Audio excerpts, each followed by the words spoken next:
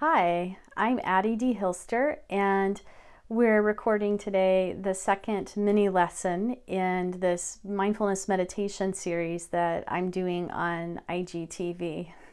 So I hope you'll follow along with this short talk about this week's meditation and then try the next video, which will be the meditation practice itself for this week. And this week we're focusing on mindfulness in the body. We've already started to touch on this last week in the first video as we were practicing mindful breathing. Mindful breathing obviously is very connected to what's going on in the body.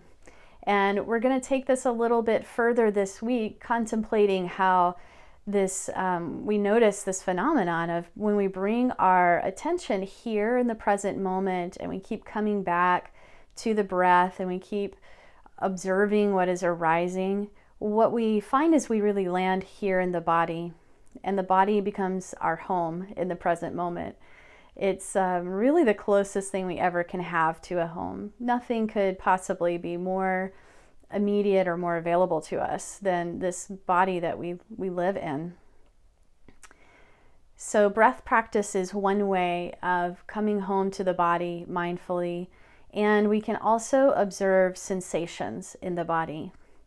And there's a wide range of sensations that we experience. The body is very dynamic when we even when we sit still, we can observe this quality of the body that it's always in flux, it's always adjusting, it's it's quite alive.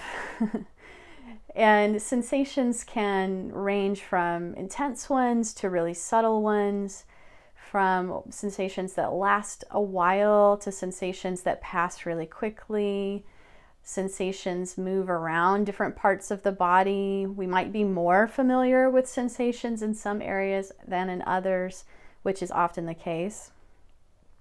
And we also notice that some sensations we regard as being pleasant. We enjoy experiencing them.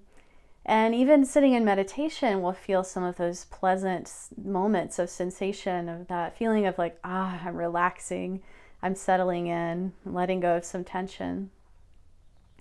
And it's also really common for us to notice uncomfortable sensations or unpleasantness while we're meditating. We'll have little aches and pains that show up in the body. And some of that maybe you can attend to by making sure that your seated posture is appropriate whether you're on the floor or you're in a chair. Um, these are all good postures as long as we have enough support for the body to have um, the most sustainable seated position we can have. And we also have a history in the body. We may have had injuries, we may have chronic pains and things that are present more or less for us. So we'll also notice uncomfortable sensations related to those sometimes in meditation. So our practice is really getting getting comfortable with letting the body be as it is. And it doesn't always show up the same way. So we're learning to release some of our assumptions about the body and to get a little bit closer to what is happening in the moment. One of the things that stops us from doing this more naturally in our daily life is just that we have a lot of thoughts and conditions and images and memories and opinions about um, the body. we have um, sometimes a complicated relationship with our own body. It has its own history and it has all these different stories and memories connected to it and things we associate with the body. Of course, this is really universal and normal it's not just any one of us that, that has that when we sit and meditate with the body. But our practice is to learn to observe more deeply than just that surface layer of the stories or assumptions or the things we think that about the body or the ways we think it needs to be. So we're training ourselves to experience the body more and more just as it is right now.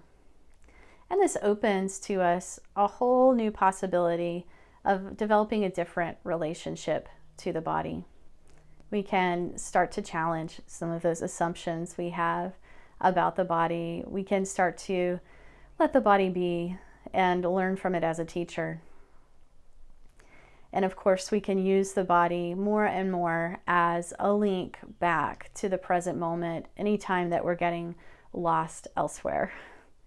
So I hope this gives you a little food for thought on mindfulness of the body. And let's tune into the next. I hope you'll tune in with me to the next lesson here, which will actually be a meditation on body sensations.